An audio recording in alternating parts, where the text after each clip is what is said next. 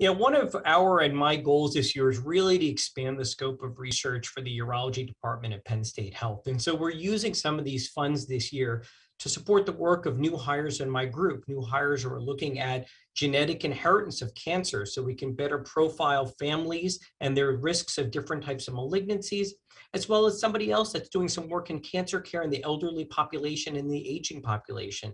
And I'm really interested about this work because this impacts how we care for patients right now and lays the framework of how we could do a better job with personalized care in the future.